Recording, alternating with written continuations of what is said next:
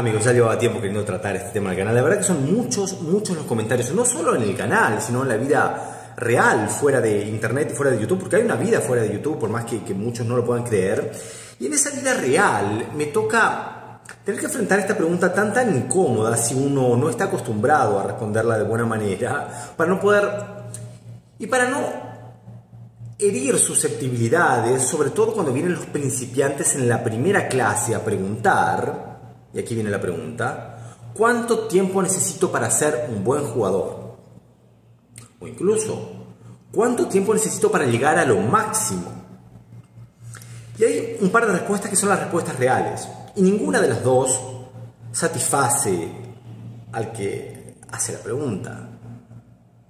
Porque si voy por lo hiperpositivo, que es real, y digo una hora, nadie me cree. Si digo el resto de tu vida, todo el mundo se decepciona. Si digo seis meses, les parece mucho. ¿Cuál es el tiempo que uno puede decir y que el jugador diga, ah, muy bien, voy a ser bueno en cuánto tiempo? Después de más de 20 años de estar en una cancha como profesional, como un entrenador profesional, me he dado cuenta que la gente quiere escuchar algo entre un par de semanas y un par de meses. Cosa que puede ser cierto, pero en realidad no es real en cuanto al objetivo de seguir progresando en un deporte como el tenis, donde nunca se termina de mejorar, pero donde nunca se termina de aprender. Nunca uno detiene el aprendizaje. Tenemos al número uno del mundo en este momento, Carlos Alcaraz, que todavía tiene un montón de aspectos por mejorar por propias palabras, por mis palabras y por las palabras de su propio entrenador que podemos, perdón, mejorar el revesalto, que podemos mejorar la devolución, que podemos mejorar el segundo saque. Tenemos a un jugador como Nadal todavía tratando de encontrarle la vuelta al primer saque. Tenemos a un jugador como Djokovic todavía mejorando su juego de red. Tenemos a un jugador como Federer que recién a los 37 años pudo mejorar su revés para ser realmente competitivo y superar a su principal rival, sobre todo en ese año 2017. Entonces no hay una respuesta correcta y precisa que uno pueda decir, en tres meses vas a ser muy bueno, porque no es real. Y lo que es real es que en una hora vas a ser un mejor jugador. Salvo que estemos hablando de un caso de una completa carencia de recursos técnicos y de recursos físicos o coordinación, todos los alumnos que vienen a la primera clase se van una hora después mucho mejores, pero múltiples veces mejores que lo que llegaron 60 minutos antes. Pero obviamente eso no es suficiente y de eso uno tiene que aprenderse para entender que tampoco será suficiente en tres meses, tampoco será suficiente en tres años, tampoco será suficiente en tres décadas, porque siempre va a existir algo para poder mejorar. Y aquí viene la respuesta que es la real. Y vamos a tener que hacer uso a una frase muy revenida, muy utilizada, que no por eso deja de ser verdad. Uno tiene que mejorar y uno tiene que compararse con uno mismo y analizar el hecho de si sigue dando pasos hacia adelante, si está estancado por demasiado tiempo o si aún peor está retrocediendo. Y obviamente si es un jugador con aspiraciones, la competencia y el compararse con otros jugadores va a ser muy muy importante. El tema es la completa falta de realidad cuando uno está jugando con amigos del mismo nivel, de repente quiere tomar tres semanas de clases y ganarle al mejor jugador de la provincia o ser campeón nacional.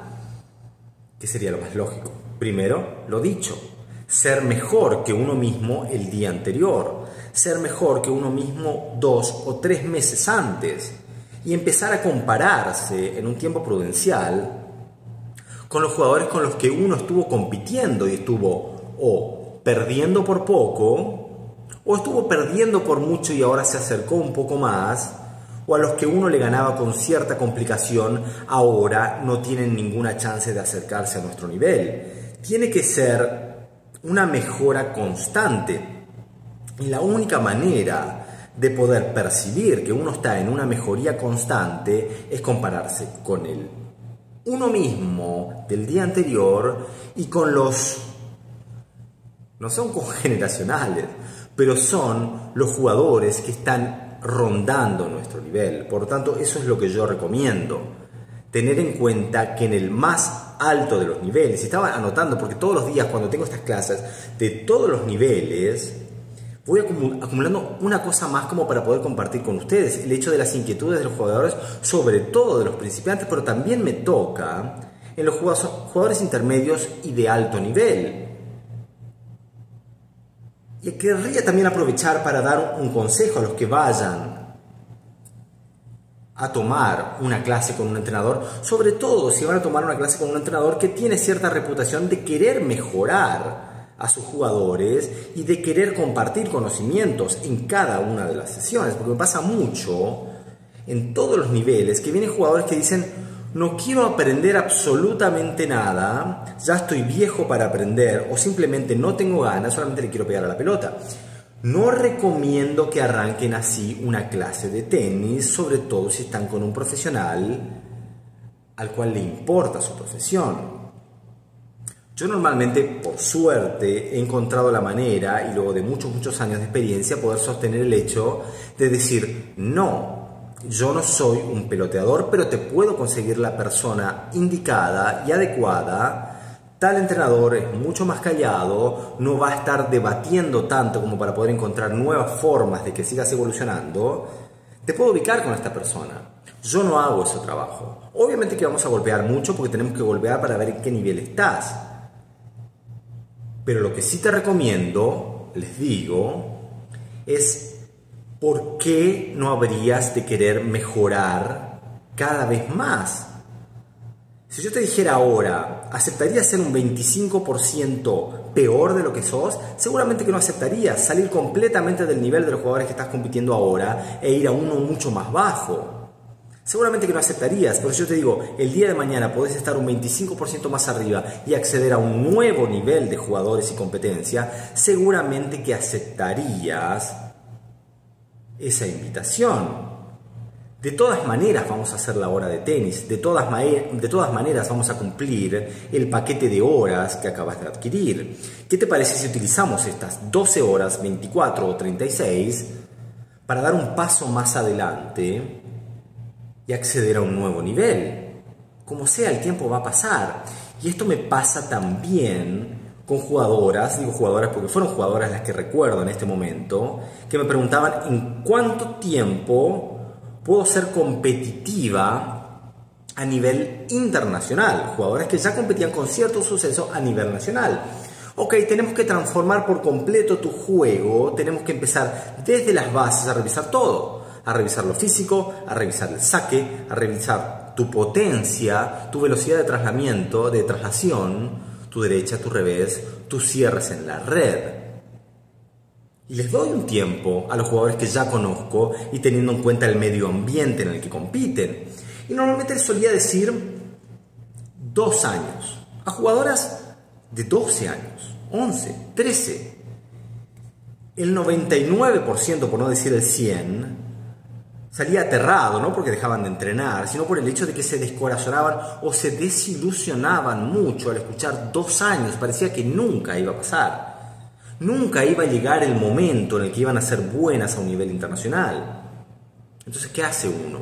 ¿Les miente? Decirle que en dos semanas van a competir a nivel internacional, pasan las dos semanas, viajamos y nos destrozan a la hora de competir. Yo creo que uno tiene que ir con la verdad presentar esa verdad de la mejor manera posible para poder encarar el trabajo con bases firmes. Y siempre les digo a las jugadoras y a los jugadores, los dos años van a pasar y pasaron y pasan siempre. ¿Qué te parece si hacemos lo mismo que hablamos de las 12, 24, 36 horas y encaramos estos dos años realmente haciendo una reformulación de tu juego solidificando todas las bases para poder dar un paso más sobre bases firmes y que puedas ir y competir por 3, 4 horas o lo que sea suficiente, lo que sea necesario, a un nivel más alto de lo que estás acostumbrado ahora. Y los dos años siempre pasan. Y créanme, más allá de lo que un entrenador pueda hacer, más allá de lo que un entrenador pueda proponer el día a día, es vital el compromiso del jugador, que diga, ok, vamos a hacer el esfuerzo extra, Vamos a entrenar una sesión más por día. No vamos a entrenar tres veces por semana, ni cuatro, ni cinco. Vamos a entrenar cinco y una media jornada de los sábados por la mañana. El sábado a la tarde al fisio, hacer el regenerativo. Domingo descanso y a empezar la lucha el lunes otra vez. Vamos a competir más torneos. Estamos jugando entre 6 y 8, vamos a jugar entre 12 y 15 por temporada. Vamos a hacer la inversión de ir a torneos donde sabemos que muy posiblemente no vamos a ganar vamos a asumir el compromiso de no faltar al entrenamiento por más que nos sintamos con sueño, por más que nos sintamos cansados. Al menos no perder el día. No esperar al día en el que tenemos ganas de entrenar para ir a entrenar y dar lo máximo, porque cualquiera puede entrenar cuando tiene ganas de entrenar. Los verdaderos profesionales los verdaderos atletas que llegan a sus objetivos, que siempre son los menos por todas estas variables, son los que entrenan cuando no tienen ganas de entrenar. Eso es lo que vale. Cuando no tenemos ganas de entrenar, los que compiten cuando no tienen ganas de competir y los que buscan una salida cuando no están jugando bien. Por eso vemos los Nole, los Rafa, los Roger ganando partidos en el que no están a su más alto nivel. Todo esto se construye, por eso cuando me pregunté, el video puede durar 12 minutos o 12 días. Muchos preguntan cómo se trabaja la fortaleza mental. Y la fortaleza mental se trabaja de todas estas maneras durante todo, todo este tiempo. No poniendo excusas, entrenando cuando no se tiene ganas, yendo al gimnasio cuando llueve, haciendo el regenerativo todos los días, descansando de una manera inteligente en el día libre, compitiendo a más no poder por más que uno no tenga ganas de competir. Porque lo que uno realmente quiere es el resultado final y para conseguir el resultado final y esa satisfacción, uno tiene que pasar a través de un montón de cosas que no generan demasiada satisfacción y que uno no tiene demasiadas ganas de hacer. Por lo tanto, podemos conectar estos dos eslabones con los enormes eslabones perdidos en el medio como para poder arrancar una clase con las expectativas reales, como para abordar cada hora de entrenamiento con un deseo de ser al menos un poquito mejor y saber que todo esto nos va a dar un resultado que no va a ser final, pero que sí va a ser satisfactorio porque vamos a ser mucho mejores de lo que éramos antes. Y como para ir cerrando, a los que se sigan desilusionando cuando les dicen dos meses, dos años o más, siempre explico, no quiere decir que por un año y 364 días vas a ser horrible y al día 365, cuando cumpla los dos años, vas a ser maravilloso. Vas a ir experimentando una mejoría gradual de la que te vas a dar cuenta, pero cuando veas para atrás en dos años y realmente hiciste todas las cosas que tenías que hacer, vas a notar que realmente estás en un nivel superior y que se cumplieron las expectativas de lo que estabas buscando conseguir. ¿Y se va a terminar a los dos años? No. Si sos una verdadera persona y competidor y atleta que quiere llegar a lo máximo, ese simplemente va a ser un nuevo punto de partida mucho más arriba de lo que estabas dos años atrás.